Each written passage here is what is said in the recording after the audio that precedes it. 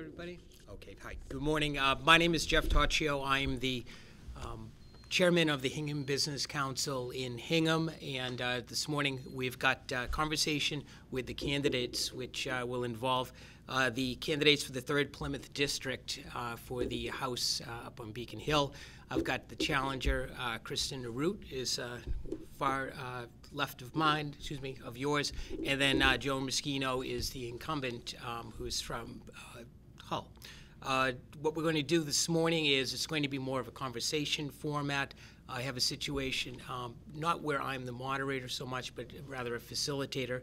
Um, with less than a month to the election, I figured that the two candidates um, have their talking points down, and a lot of people have been exposed to those. What I'd like to do today is to have a goal to have them be able to um, speak to voters and express uh, what their positions are more in a conversation format if that's possible. What I'll do as the facilitator is ask questions of each of you and then um, reserving the right to follow up, but to see if um, I can start a conversation where we can advance it a little uh, more deeply than just my, you know, answering questions and getting, uh, getting answers in response. I'd like to thank uh, Harbor Media, Media for uh, filming this and producing this um, this morning. Also, um, Comprehensive Benefit Administrators has been um, sponsoring uh, the program this year uh, for the uh, South Shore Chamber, of which the Business Council is an affiliate, and we appreciate that. Um, my name is, uh, again, Jeff Tocchio. I'm the uh, chairman of the Hingham Business Council. I live in Hingham. I've been here for 30 years, and um, with uh, me directing is a board. I've got Jim Murphy, also Mark Ryan, and John Mannion, who are here as well. And I'd like to thank Peter Foreman. He's the president and the CEO of the um, Chamber of Commerce. Um, as a facilitator, what I'm going to do is I'm going to first uh, ask uh, each of the candidates to describe um, themselves, their background for people at home uh, who are watching this, and um, go through um, what uh, you know recent developments have been on the uh, on the campaign trail for them. Um, I'm going to ask for about five minutes each, if that uh, makes some sense for you. And then uh, what we'll do is uh, go through some issues. I'll try to break it down as to general interest that voters have expressed to me, and then see if I can break it down to other um, topics which are of uh, import to the Chamber of Commerce, uh, you know, basically um, some business and infrastructure uh, questions that I may uh, push towards you folks. I think we're looking at about 50 minutes. And uh, with that, I'm going to ask uh, Kristen if um, you can make your introduction, give us your background of what what you've done, what you bring to um, your candidacy, and um, what you hope to accomplish through this run for the seat. Thank, you very much. Thank you, Jeff. Thank you to the Chamber for hosting this, to Harbor Media for filming it. Thank you to my opponent, Joan Meschino, for being here this morning. It should be a very fruitful discussion in 50 minutes. Um, my name is Kristen Arute. I am a resident of Hingham. I've been in Hingham for 26 years. I have two children that grew up in Hingham and went through the Hingham schools. Um, I have a background in education, in working with our senior population, running a small business, and I'm also president of Hingham Care. So I've done quite a bit of work on the opioid crisis, which is plaguing not just our state, but our country as well. As president of Hingham Cares, um, we are a prevention coalition, and as such, we work very closely with the school system. So we bring in programming um, through the SADD program at Hingham High School. We bring in programming through the DARE program at the Hingham Middle School. Some of the current issues that we're addressing right now have to do with vaping. In addition to the opioid crisis, vaping is something that has been very problematic within the schools with children of a certain age. Um, and it's certainly something that we can take a look at as a legislature and look at ways that we can um, mitigate some of the issues and concerns that parents and families and schools have with that particular issue my background in education. Um, I am a licensed middle school teacher. Um, I, my uh, subject area of expertise is math. I'm a private math tutor. Um, I've worked in the local school systems as a remedial math instructor. And one of the things that struck me in my time working within the schools is that we spend an awful lot of time and an awful lot of resources on standardized testing when we talk about funding for programs, whether it's to address substance issues or to address infrastructure issues or to address housing issues, we need to take a look at where our money is currently being spent. The Commonwealth spends 25 to 35 million dollars annually on standardized testing. And there's a lot of discussion about the importance of standardized testing, the relevance of standardized testing. Um, I've seen the disruptive nature of standardized testing. It's referred to as high stakes testing for a number of different reasons. One is because of the high stakes nature in which it's implemented. Um, children have tend to have a lot of anxiety around standardized tests or testing in general, so it's high stakes for them. It's also high stakes in terms of their education. It takes away from classroom teaching time, which means taking away from classroom learning time. Um, and the results of these tests are not even available until the following school year. So students take a test in the spring and the results don't come back until the following fall winter of the next year when they've already moved on to the next grade level and into a different teacher's classroom.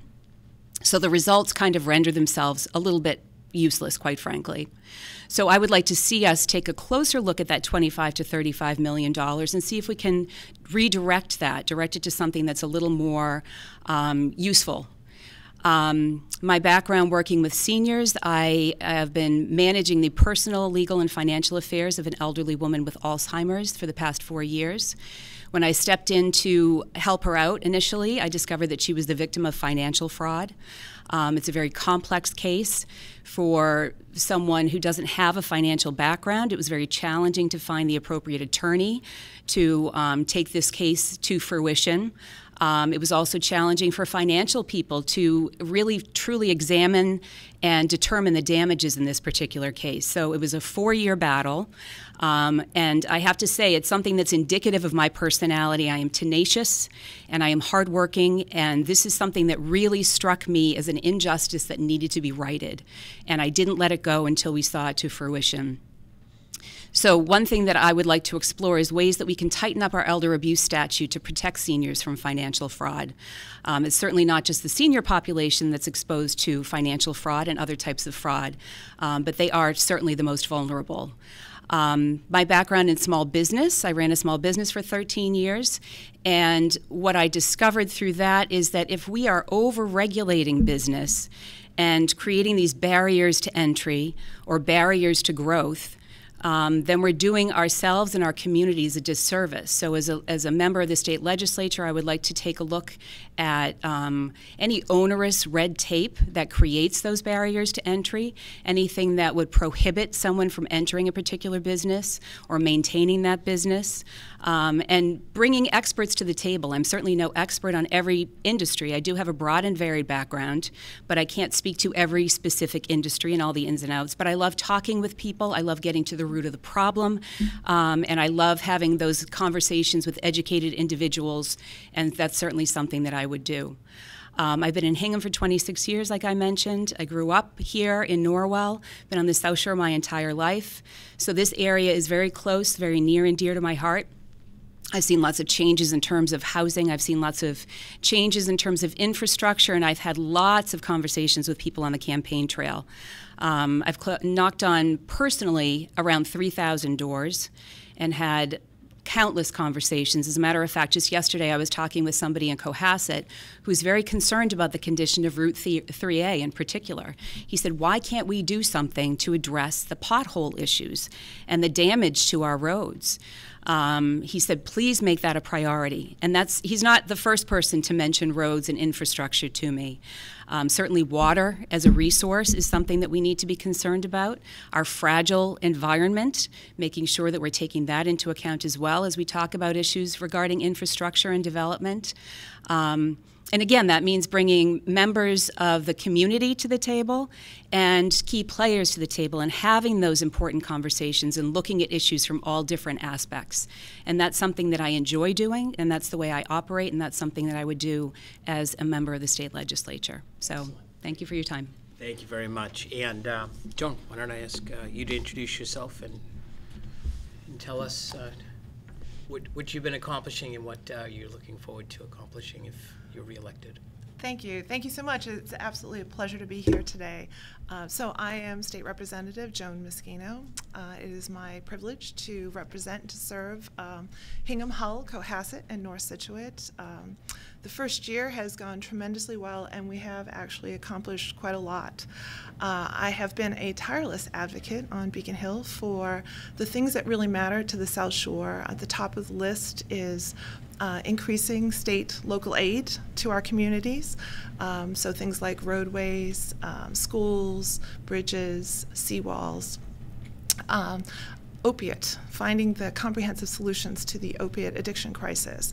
Uh, and in fact, we've um, just passed the CARE Act uh, around the promote prevention work um, to really fund and to, to support all of the community supports, um, some of which uh, my opponent was talking about earlier.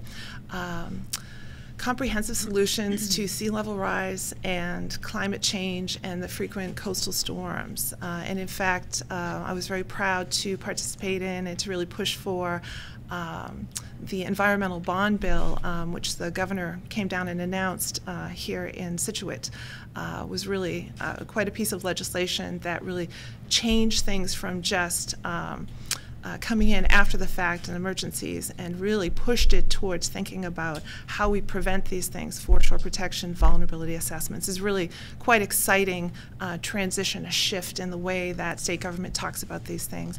And of course, economic development at the root of everything that we do. Um, you know, if we're going to make for strong communities, it's the kinds of strategies and investments that state government can make in our towns that really give us either the tools or the infrastructure that really welcome the appropriate kinds of um, business, whether it's small or large, uh, that's appropriate to our village, to our village centers, if you will. Um, so it's been quite exciting to be part of all of that policy making. Um, but as I had told you from the, the very the first moment that I ran, one of my top priorities is constituent services, and in fact, we've helped over 300 people um, not just the quick call one off, the actual call my office to help me navigate the resources of state government that really make a difference in the lives of, of the folks that live here. Uh, and that's everything from the handicap placard that just lets the senior uh, or the disabled person park closer to do the grocery shopping, all the way up to um, things like mass health or unemployment benefits. Uh, and, as, and quite frankly, there's a lot of issues that we can't solve. Um, housing for seniors being one of them, affordable housing. Um, but it's been really tremendous to work with individuals. Um, I have office hours five times every month somewhere in the district. Uh, we're trying to meet people where they're at. Um, so sometimes it's the senior center in Hull and in, in Cohasset. Sometimes it's the library in Scituate and in Hingham. And of course, we go to Linden Ponds because they just deserve our respect to go there and uh, to be present.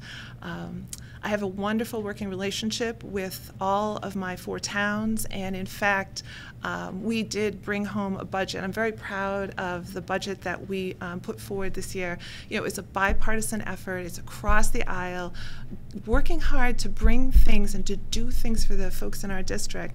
And in fact, this year we had the highest levels of state aid, both around um, school budgets, um, around local aid itself, around libraries.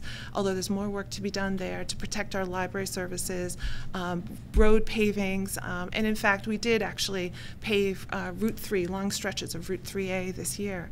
Um, but also on the grant applications. Our communities are working hard. They're all professionally staffed. They have tremendous, we have tremendous initiatives and programs and progress going on in our districts. And it's been really exciting to be part of that and to get up onto Beacon Hill, to work with Senator O'Connor, to really advocate for some of the budget, of, excuse me, some of the grant monies that have been coming down here. In particular, um, the Seaport Economic Council, um, and I just I heard, just heard the uh, Lieutenant Governor actually present yesterday on a new piece of it. This time, instead of just infrastructure, now what they're doing is they're actually looking towards innovation grants, which was really kind of an exciting new way um, to see the administration envision um, those investments in our district. And I happened to be in Scituate yesterday uh, for one involving uh, Mass Lobstermen's, and um, and they're trying to. It, it's a really exciting program that I will not do justice to describing, but basically using the fishing traps themselves as almost like a cloud net for gathering information. It's really really fascinating stuff. Um, but that Seaport Economic Council, they revitalized it. And those are the economic investments where they understand the intersection of government's role, investing in our communities, um, but also through that economic lens. And so sometimes that's seawall money, um, most recently for Hull and for Scituate, but it's also economic empowerment money. Um, you know, I think about um, Hingham, we're in Hingham today, so it's the bathing beach, Barnes Wharf, all of these different initiatives, um, Cohasset and the harbor. Uh, and those are just a handful of examples of the kind of grant dollars that we've been able to bring back um, this term into. Um, into our into our communities. It's been really exciting to be part of that. I guess the message I would just uh, leave everyone with is that no one has or will work harder uh, than I have to really get to know the community, to understand the fabric of the community.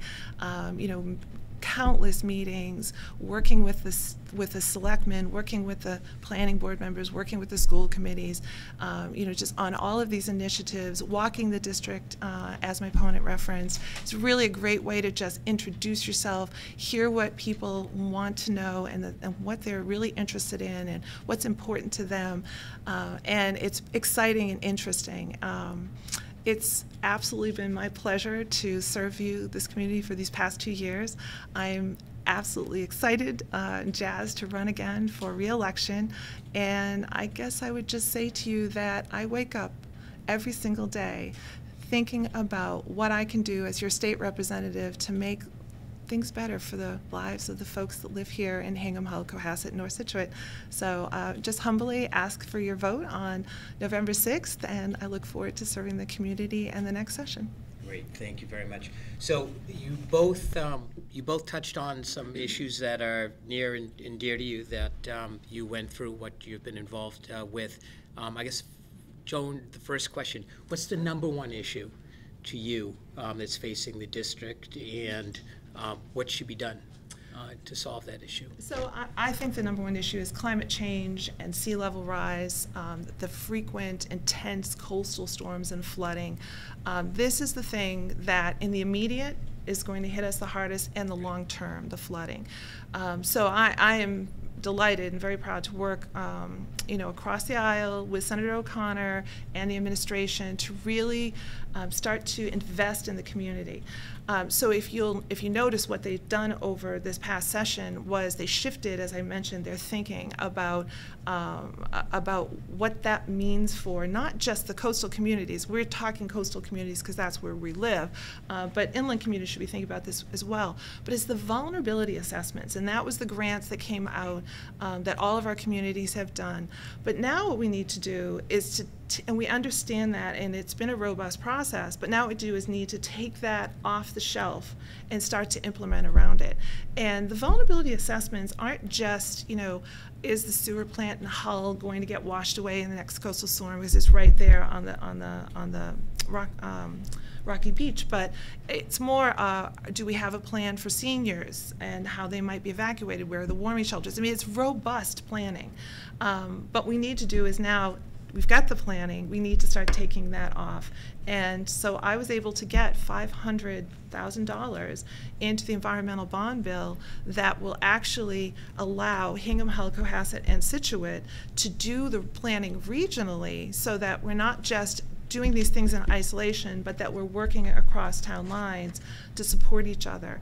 Um, the other thing that we've been doing is really working very closely with um, with uh, the state level with EOPS around what are the uh, investments that we need to make here. So if we are say Hurricane Michael were making its way up here, we have seasoned, experienced um, professionals who do our emergency management, but we also have established good working relationships with the state police, the National Guard, to bring those resources down and to make sure, uh, because you can't bring them everywhere, so they have to be targeted where they're going to be most needed. And we've been very effective uh, managing to get those down here to protect the people. So there's the public safety component, there's the regional planning component, and then I should just take a moment to say also that as the storm season is coming, uh, individuals should also be thinking about what are the resources for them. So do you know where your warming shelters are? Or do you have the batteries in your home? You know, things that we need to do to prepare for the winter season are coming up as well. Um, and then just lastly, the other piece I would say is that you don't get to ask for millions of dollars in seawall money without then working on the public policy issues. And so this year we passed the clean energy legislation, which increased the RPS, and that's just the renewable portfolio standard.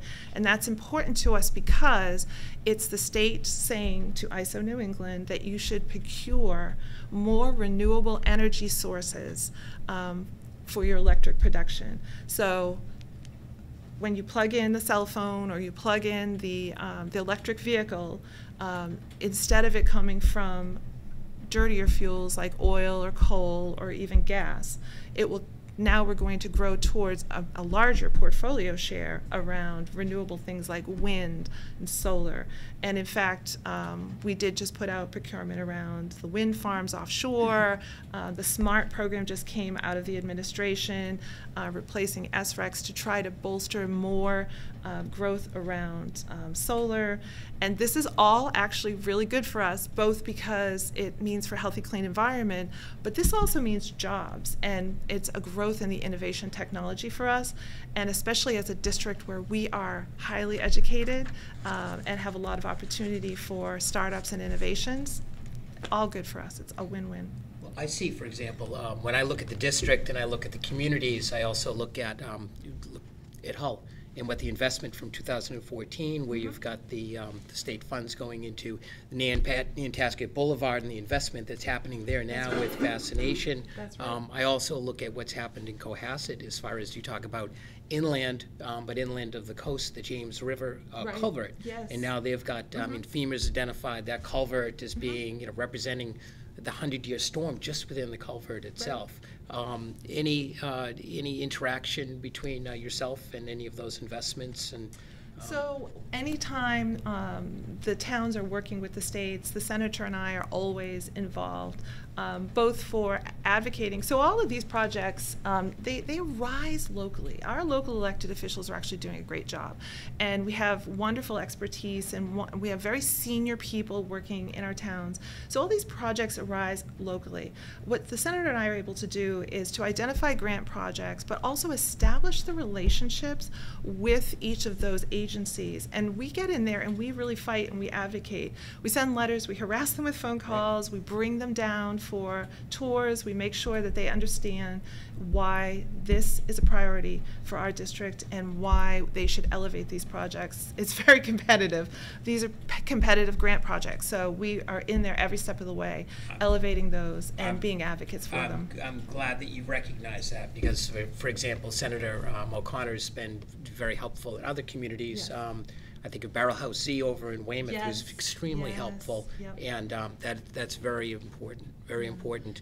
Um, And so- we also fight projects too. So think about the compressor station, um, and that has been um, a, a multi-town um, and uh, straight up on environmental impacts and public safety. Uh, and we coordinate very closely. The senator um, and our my my um, counterpart, uh, Representative Jamie Murphy, um, who actually represents one precinct in Hull in Hingham, um, and we work very closely together, um, not just to bring money down into the district, but also to fight off the projects that we and don't for want. folks, that's the compressor station proposed next to the Fore River Bridge over in Weymouth off yes, of uh, Bridge Street. Yes, that has, they're doing the environmental assessment impact right now. Um, and um, we're really pushing them to do a public safety impact uh, because the gas line goes right under the abutment on the southern side of the bridge within 20 feet. And we've, uh, we've uh, sadly, tragically, we've witnessed what overpressurization does um, in, on the North Shore. So, yeah, so we're fighting on that one as well. Excellent, thank you. And uh, Kristen, uh, same question for you. Um, What, what you see as the number one issue facing the district, um, just number one, and what should be done about it? What can you do uh, to solve that uh, issue or work on the issue?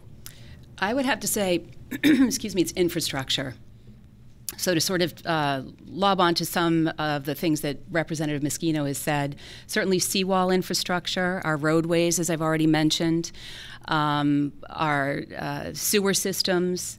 Um, those are all important things that we need to be taking into consideration, not just for development and proposed development, but also for um, our current residents. Um, and with respect to storm damage, um, I was contacted by a group, actually a group at the uh, right in your neighborhood, at the bottom of the street. At Allerton Beach at the end of um, the Alphabet Streets in Hull. They reached out to me, yep, V Street.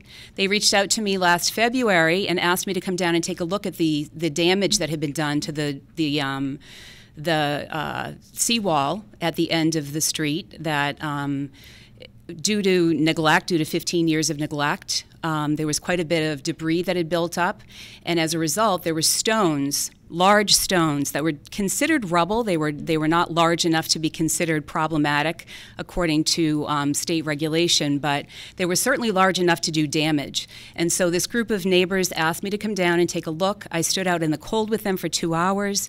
They showed me pictures of what the area used to look like. They talked about damage to their homes. They talked about spending their own personal money um, to clean up their yards, to clean up uh, underneath where debris had washed underneath their homes.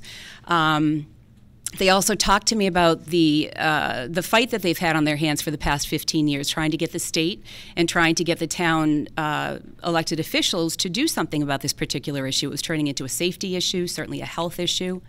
Um, and they reached out to me, and I went down and I spoke with them. I connected them with the Marshfield Coastal Coalition, Joe Rossi's group, which is now the Massachusetts Coastal Coalition. Um, he was able to put them in touch with an environmental specialist who assessed the damage, assessed the area, and helped them draft a proposal that they presented to.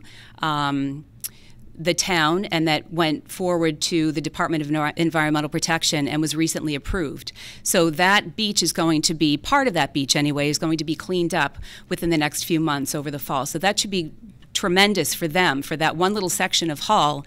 It will be tremendous for them over the next um, several months as we enter into storm season, and hopefully we don't have a season like we did last year. Um, I've also spoken with people about seawall breaches.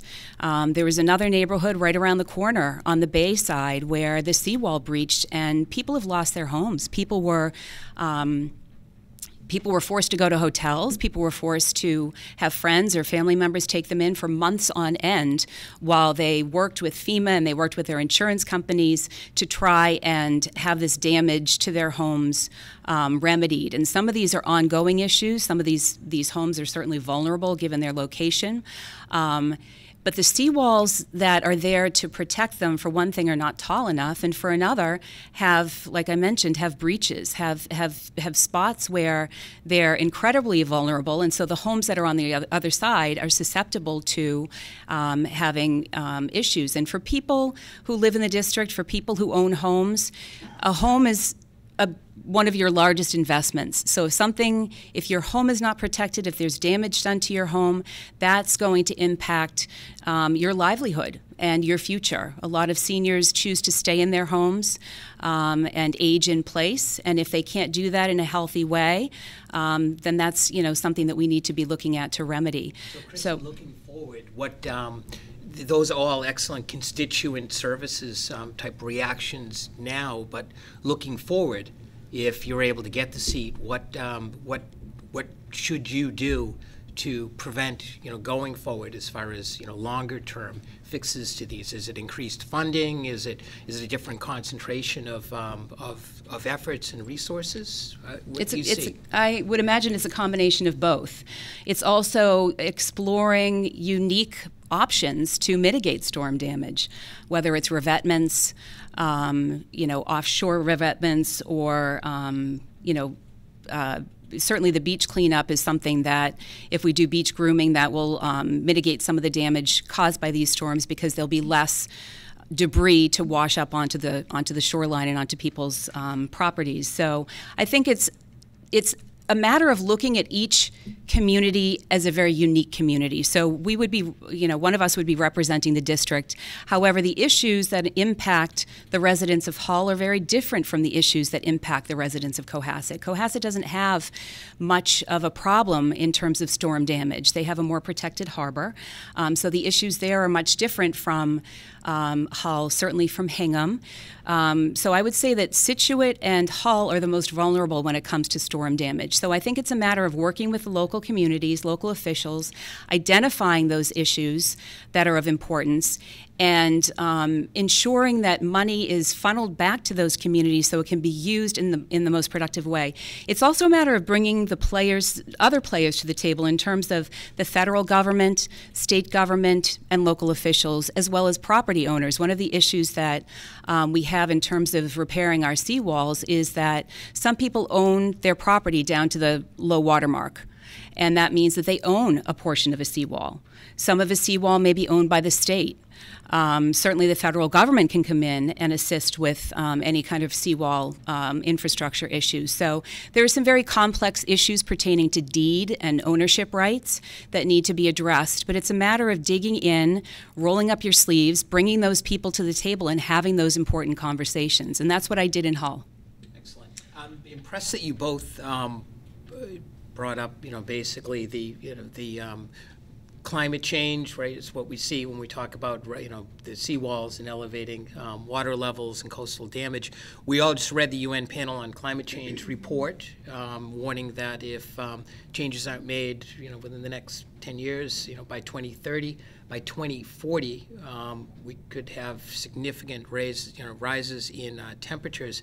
Um, expanding this issue, what, um, and I'll ask Joan first, um, what else would be available to people on the, um, the state, on the local level to, uh, to address this issue, right? Because it's going to be a national issue and it's going to be uh, affecting so many of us. What can be done on the district level to, um, to do our part? So it's a great question, and it's the question that actually needs to be asked next. Um, so the report that you referenced um, is suggesting that we need to be more aggressive in our greenhouse gas reductions and our climate change policy protections. Um, and Massachusetts actually was a leader, and this is, predates uh, myself, but we, we set some pretty rigorous um, goals for reduction. And now what we're seeing is that it needs to even happen faster. Um, even setting aside what goals you choose to shoot for, the fact of the matter is, is the piece that we need to do is now have a, a plan. And so one of the things that I'll be filing next session is um, a roadmap to a prosperous and a clean energy future. And what it's really asking is for the administration to take the next step and to to do the backcast to see what we're going to need to do by each of the milestones, to have more aggressive milestones, uh, and to really put multiple strategies in place. Which is to say, we were talking earlier about um, about greening the grid, about procuring more energy through um, through renewable sources. Uh, in fact, Hull and Hingham both have municipal light plants, right. and Hingham is 100%, which I think is actually pretty impressive. Um, they procure 100% renewable energy. Um, Hull, I think, is at 75%. Um, but what I'd really love to see on the local level is the other, there's 51 mun municipal light plans. They should be subject to um, the Global Warming Solutions Act is what it's called in Massachusetts, but they should be subject to all of those requirements, and I would love to see them all start to go there um, on their own without requiring legislation to do it. But if we have to file legislation, we will. Well, like the benchmarks. Right, because the half, benchmarks. Right, because have, half the uh, right. the battle of getting somewhere is being able to articulate mm-hmm. um, something. Right. But then, and that's being filed. Uh, I'll file it next term. Oh, good for you. Yes, um, that'll be something we'll file next term. Um, the other the other two pieces to that is transportation. So one of the big, I think it's 40 percent of our emissions in Massachusetts actually come from transportation. And so we were talking a little bit earlier about infrastructure. I mean, one of the pieces of infrastructure I think we need to do from a state investment in the local level is public transit. Now we've secured the ferries. We've gotten we got two new ferries. That's pretty big capital expenditures on the ferries. Um, the, the, it's a great schedule, but it needs to be on the weekends. I was and it say need, now it's not on the weekends. Right, right, now it's not on the weekends, and it's it's really crazy. And they need to have that schedule on the weekends. And we've really been leaning on MBTA about and working with them. So now we don't have to worry at least that they'll cancel the ferries. Every time Secretary Pollack sees me, she's like, "Yes, yes, Joan, I know the ferries." But we need to push to get that on the weekend schedule, and we need it to go to Massport so that we are both for fewer emissions, but also less congestion and traffic in the district. And then we have pretty good um, commuter rail schedule um, it has not been as reliable. We need reliable, and it needs to be more robust. Um, so we need to focus on that. And quite frankly, the other piece of it is um, we just need fewer cars on the road. So that we, we really need to focus on like regional transit within the district so that you can get that last mile from my house to the to the ferry or from the commuter station to you know the downtown centers and things like that. Right. So those are pieces at the local level where we can take responsibility because you can't solve Massachusetts can't solve climate change, but we can take steps around the pieces that are within our ambit of control. Absolutely. We can take steps around ourselves. The last piece of that is actually also um, our, our own homes and our own energy use in the homes. The governor put out a really interesting piece about a home energy audit, and I, I don't think they quite got it right the first time around. But I've spoken to um, Secretary Beaton and about his issue about about that piece and about some of the other legislation I'd like to file. And what I'm hoping is that once they start putting the, the, the paths in place, that that will be another piece of it. Uh, I'd like to see them really focus on that piece because that is also about savings for homeowners because it's about the renewable energy is now affordable energy.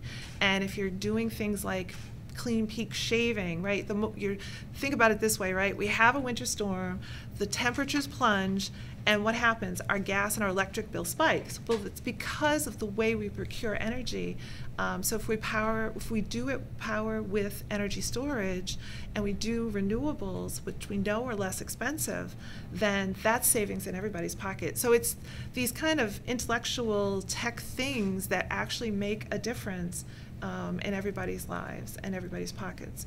Um, the other piece I would just say, um, going back to the vulnerability assessment, we didn't really mention um, is the FEMA and the, fle- the FEMA flood maps um, and the CRS program, which is the is how we all get our um, our flood insurance, and so we, we need to have accurate maps and we need those programs to continue through the federal government and we work with our federal delegation on that um, but i would argue that there's a piece in there that's been missing and if we so using the last year's storms um, what i learned was that immediately you know I was talking about the coordination of services, the protection, the emergency response, and that's all terrific, and Senator and I will continue to advocate for those resources here. But then after the fact, you know, if you were someone who had coastal inundation flooding, and they took out your, and say, say it just took out your, um, your, your furnace, you can't go back into your home without heat. So, but there's nobody right now that focuses on just regular people like us and helping them to say, do a no interest loan. Uh, and, and what I've been talking behind the scenes to some, some friends at DHCD, because there's a similar program that they use. I'm gonna get the Oh, question now. Yeah, If I- but that's the thing that I think we need to focus on is how you, how you take care of just regular people. Okay, and so, same question, um, having to do more um, broad-based with, um, you know, just where the issues go beyond just, you know, coastal inundation and uh, resiliency, et cetera. Um, What do you see as um, issues and areas that you could be effective um, at the state level and the district level? You mean in terms of infrastructure? as far as whatever your, um, what you see as additional um, issues that um, would affect, you know, basically the UN uh, climate panel um, talks about broad initiatives, broad, you know, needs on a very short timeline. Um, What, uh, what do you see as far as um, what you could affect as a representative from the Third Plymouth District? So if we're talking about something on a global scale, I mean, there's certainly. Just even local, because you answered it um, on the coastal issues. Right. But it, it goes, so the coastal issues are a combination of, you know, cause and effect, right? Mm-hmm. So um, going out broader, you talked about earlier with some uh, energy production, et cetera. I mean, are there other uh, more expansive, um, you know, pockets of that uh, issue that you see as achievable? Um, well, I certainly think that um, you know, giving a nod to green energy and to the fact that um, the Hingham Municipal Light Plant is, uh, you know, operating on 100% renewable resources, I think that's tremendous. I mean, I think Ms. Representative Meschino did a very thorough job covering that question, and I would agree with most of her talking points.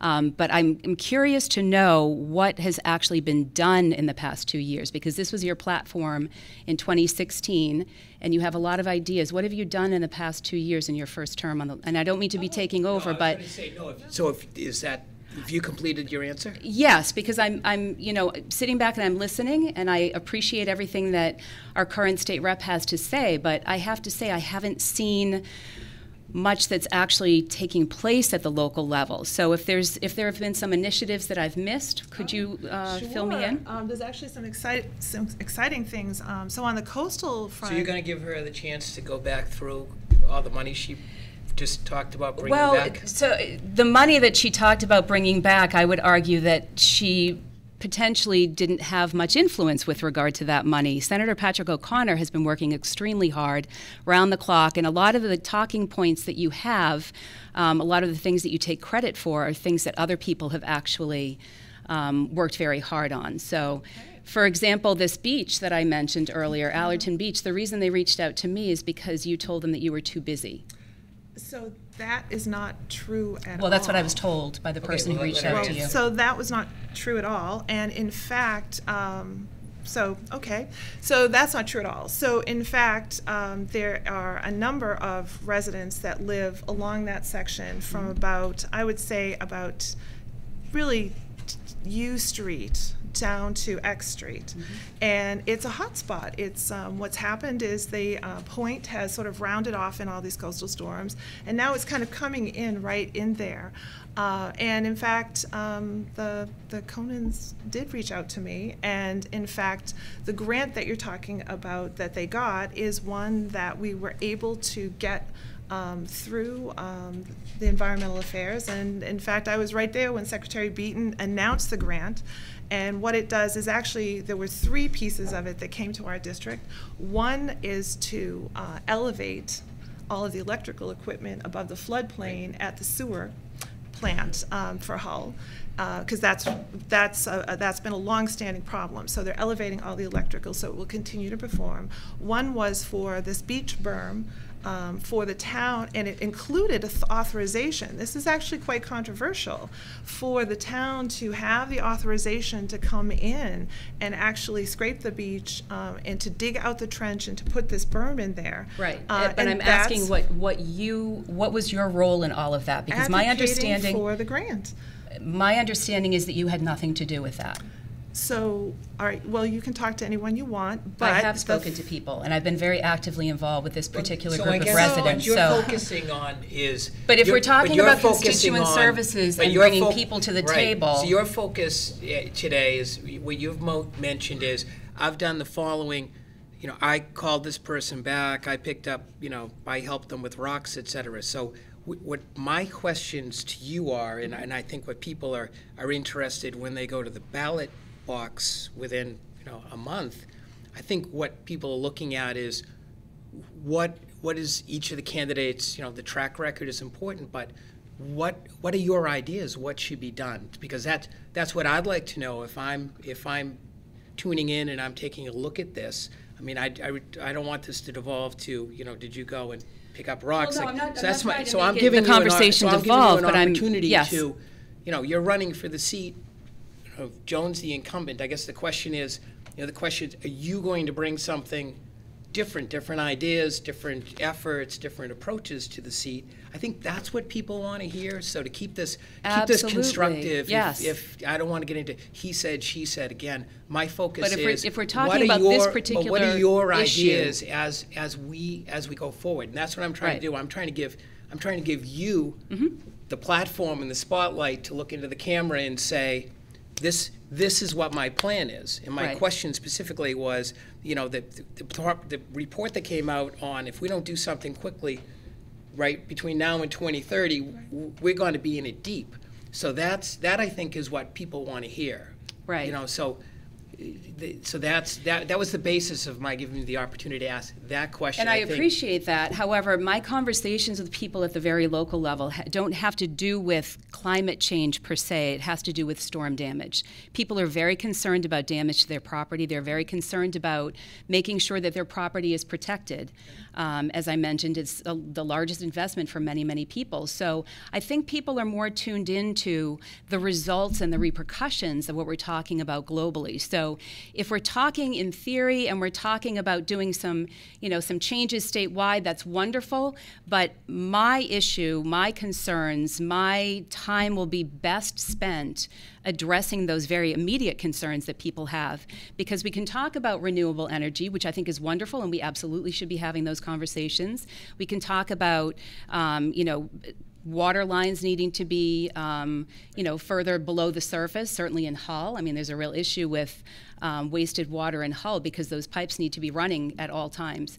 But when we're talking about very specific things and very specific needs that people in the community have, it's as a result of all of these storms. It's as a result of the potential exposure that they have. So Let's do this. Why don't we talk about that project in particular? I do not think that three hundred thousand dollars is an insubstantial amount of money. No one said that. for, uh, For me. No one To said that. advocate for, to bring back to our district.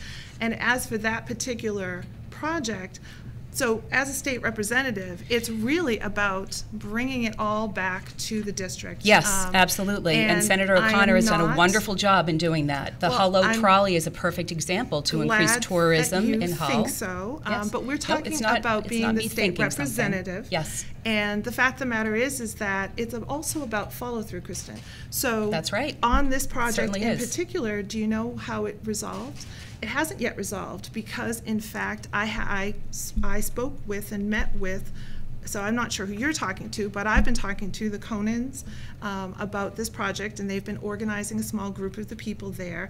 And it hadn't taken any steps forward. That's right. And I looked 15 years. behind the, the scenes to find out what it was and was able to suggest some, and this is actually more of a, a role for a selectman and less for a state rep, but I was able to use my relation, good relationships from being a selectman long time in Hull to work with town council and to work with the town manager. And no one even knows that I did this, but I went behind the scenes. That's right. No one knows that you did this because you did not make yourself available to this particular group. You may have had a conversation behind the scenes, but your constituents, which is a larger group of people than just one couple that you're referring to, received word from you that you were not available, that you were too busy to have a meeting with them. You didn't attend any conservation committee hearings. You didn't mm-hmm. advocate for them at the state level. It's okay. So, no, I mean, I'm just pointing out what has been told to me, and that's the reason why I was brought in to the So conversation. You But- can, you can Regardless, believe what you though, want, it's or you can about believe action. me. It's And the about- fact it's of the matter action. is, So- so- is that so, that's Kristen, not so true at all. Your, your position is you would actually go and you think that the legislator should attend conservation commission meetings? Is I attended one conservation no, committee no, no, meeting. not, yes. not not what you've done, but Right. if if you were to be elected as the representative from the third No. Plymouth district, No. your role would be to attend conservation commission meetings. Potentially, I mean, if there's a, if there's a large issue that affects the town or affects you know something that is a is a district wide conversation, then certainly. But in this particular case, this was several months ago. This was before I even pulled papers to run. I was asked by this group of people to come down and to meet with them and to review um, the situation with the beach and to uh, see if there was something that I could do to help them. So, one of the things that I did was to attend a Conservation Commission meeting so that I could see what the conversations um, that were taking place were. But I also connected them with a local group that was very um, pivotal, very instrumental in ensuring that they, um, their needs were addressed.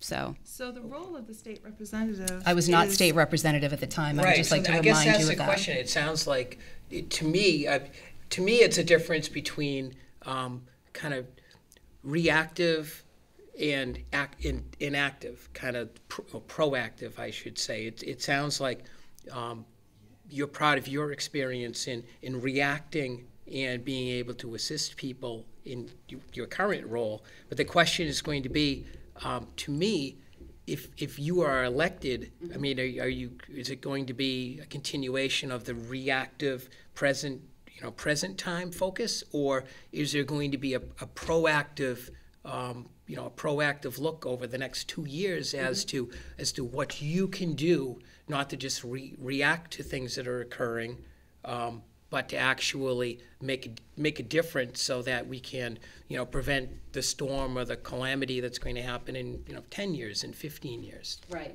No, I think it's a combination of both. That's an excellent question. I definitely think it's a combination of both. It's some it's a combination of preparedness and foresight and it's also a combination of responding to things no one anticipated this past year of storms. Certainly, no one expected the amount of damage and um, the amount of repeated damage in particular areas. So, there is an element of being reactionary because there are people who find themselves in times of need. However, Are- the proact. Are we not surprised at, at the numbers that we're seeing now? I mean, it's, I, I when don't. we look at the I'm not FEMA numbers in their reports, it's, I mean, we're, we're I would say that changing the, I would say residents were caught off guard because residents expect that the infrastructure that's put in place to protect them did not protect them. Okay.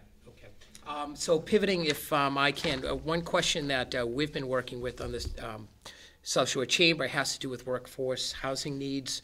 Um, They've issued recently a report, uh, the South Shore 2030 Choosing Our Future, which um, really drills down on what our housing um, you know, needs are, what the shortcomings are, and how housing and the development of affordable housing um, has a potential to affect our economic development here on the uh, on the South Shore. Um, Kristen, I'll ask you first. If um, I'm, I'm sure you've looked at it, you, you attend quite a few chamber events where it's been discussed. Um, what can or what should you do as the uh, House representative to, if you agree, to advance um, some of the goals of uh, of that report? Um, once again, so one thing that I found very interesting in the report was identifying um, ports of transportation, whether it be a ferry port or whether it be um, an MBTA stop or a commuter rail stop, identifying those and considering the possibility of a develop- development around those. Um, certainly, we have traffic issues on Route 3, um, traffic issues all over the place, so it's something that we would want to be able to mitigate. Um, but in terms of bringing workforce down here to the South Shore, encouraging growth of business here on the South Shore, um, encouraging people to patronize local establishments and, um, you know, see that our downtown economies start to flourish. It's a matter of very specifically, very uh, carefully targeting those particular areas where that type of development makes sense. And how would affordability uh, be to work in? Because what what our uh, members are finding are that um, they can have just flourishing, wonderful businesses on the South Shore, but it's extremely difficult to have the workers um, be able to, you know, frankly, afford this area now because of the um, rise in real estate Right. um, values, and that that's a, you know that's a critical issue now, and it portends to you know become more of an issue in the future if um, if some changes aren't made. Do um, do you have any ideas with respect to that issue? Well, I think certainly having more rental property available is some is a, an opportunity for that. Um, what they're uh, putting together down in Weymouth Landing is certainly tremendous. Right there, where the where the T station is accessible, where restaurants and shops are within walking distance, it's wonderful. Um, I think multi looking at multi-use opportunities where we have a combination of commercial, retail, and residential. Um, those are all wonderful opportunities. Um, and I also think that in addition to the, the workforce housing that we're talking about, we need to take into account the fact that our population is aging. And a lot of people are choosing to age in place. However, I think a great many more people are looking to downsize. I know my parents are kind of on the cusp of that, um, as a lot of parents of uh, my contemporaries are as well. So, bearing in mind that we're not just constructing affordable units for workforce, we're constructing affordable units so people who have outgrown their house or their house has outgrown them can take advantage of those opportunities as well. And it's a great opportunity for aging boomers to free up equity Yes. in their homes, and then also um, boomers are choosing to work longer and you know are shown to be very productive. Right. What um, do you have any um, you know insight, ideas, uh, goals with respect to um, you know affordable uh, housing for folks that may be in the you know 55 and old, over? What can communities do? What can you do to encourage communities to be more receptive to that type of development? That's a, that's a bit of a challenge um, because decisions like that tend to take place at the local level, the very local level. Um, I know that in Hingham, in particular, we have um, uh, the Lincoln School Apartments, and that the Lincoln School Apartments is affordable housing for our senior population. However, there's a seven year wait just to get on the waiting list for Lincoln School Apartments. It's a very desirable community. Um, it, it, this is a hyper local issue, but the Old Ship Church Meeting House, which abuts the back of the Lincoln School Apartments, is something that's been on the market for a number of years. Yeah, for $4 million. For $4 right. million, exactly. And, um, you know, there's been some back and forth. There have been some proposals about that particular property, but it's a sizable piece of land in addition to having that residence on it as well that's currently being used as the, um, as the meeting house selling off the back parcel so that Lincoln School Apartments can expand is something that has been um, discussed. However, the price tag has to be right for the town. And if the price tag isn't right for the town and the town doesn't envision that as a good opportunity, a developer could come in and purchase that parcel themselves and put up, you know, two or three large homes. So, um, it's a matter of prioritization at the local level, unfortunately. I've looked at that with several of said developers. And Have it's you? Di- it's difficult because of the historic nature of, Yes. um, of, of the structure there. That's, that's what I think people are, are running into. Yes. Um, Joan, I'd ask, um, same, uh, the, uh, the Chamber's uh, 2030 looking forward Mm-hmm. um, on housing. What, um, what do you see that, um, you know, issues are, uh, issues that can be solved? And what can you do uh, in your, you know, the, over the next two years from the district level to uh, influence that uh, discussion and development? So I think we have some wonderful opportunities that um, uh, my opponent allu- alluded to uh, around transit-oriented developments. Um, The Greenbush line comes down, and uh, what we know is that if we want to attract workforce um, people, young families, uh, young people to the district, uh, we know that they want, that they really like this idea of um, uh, of, of being able to get in and out of the city and placemaking and these ideas uh, of things that really attract these young professionals. Um, and interestingly enough, also the downsizers as well. And so anything we can do around uh, those transit-oriented developments um, and to promote them, I think would be a great thing for workforce housing. The other thing uh, is really giving the tools to the communities around being able to, um, to create affordable housing. And there's affordable housing with the capital A, which um, is all run, but then there's also just workforce housing um, that is affordable to working families. Uh, and the governor had put forward um, a zoning reform bill um, that had a work uh, sort of housing production requirement to it that I think is actually going to be formative for the South Shore. It's not going to impact our particular district as much as all of that. Um, in fact, uh, we've done a pretty good job, especially in Hingham. Um, Hull's mostly built out. There are um, constraints within um, Cohasset, and Hingham's already taken a lot of those votes on the local level around uh, meeting their 40B affordable requirements. I thought the selectmen did a great job um, um, authorizing those two um, two projects down by Beale Street, down by by the shipyard, and it's those kinds of things that are really going to be what attracts the workers back to our, our district, and that's good for our small businesses because then they have workers that they actually can that are here can afford to get here. Um, it takes the parking uh, sort of piece out of it and the congestion piece out of it. But then it's also good for us because we know that young families like that they stay local and they spend local. So it, it really works around all of that. But we do need to give our communities the tools that can really um, that, that can really shape the zoning and the planning so that we're attracting the right kind of business and the right kind of housing development that we actually need to meet the needs of our community. And the governor's bill was at the 2017. Yes. the, um, That, I think, um, one of the, one of the elements of that, which I thought was attractive, was that um, an encouragement to um, reduce the two-thirds zoning change locally Right, to a from. Simple s- majority. To Simple simples and, majority, yeah. um, you know, to cities and towns. Which is more controversial than you'd think, but it's actually, if you talk to planners, it's the piece that they say they do all of the work and then they, they, they can't always get it over the supermajority.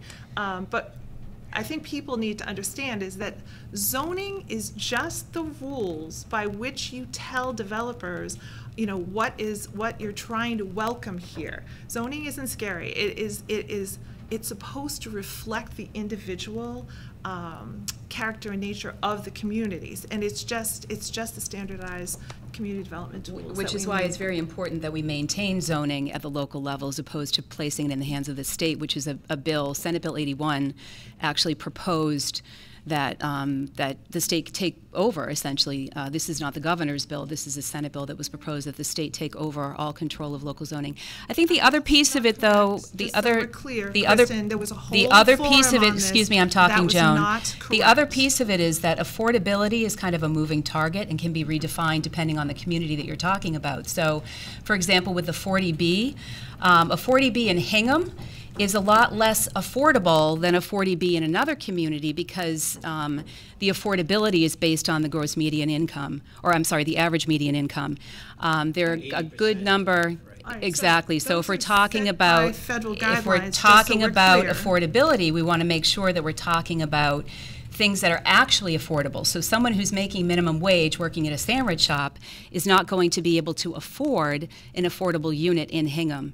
Um, so do we have that conversation about how to produce more housing to meet the needs of every individual who wants to live and work in a particular community? That that opens up a whole new can of worms, a whole But, new I mean, conversation. So it's basically a public-private, um, you know, relationship. So the developers have to come in, they've got to look at the towns. They're already under pressure under the the 40B, just at, um, you know, $80,000, for example, in Hingham is, is what that threshold would be Exactly. for affordability. Right. Um, Are you suggesting that the government should, should take on a stronger role to, um, to be able to, to to satisfy that housing segment that you just talked about? No, Okay, I, I'm all not, right, no, okay, but I'm, what, I guess the point that I'm making is that affordability, almost at what cost? You know, how far do we go with affordability? Because affordability, as I mentioned, is a moving target, um, and it's based on the community that, that um, is, is, um, the housing is located in. So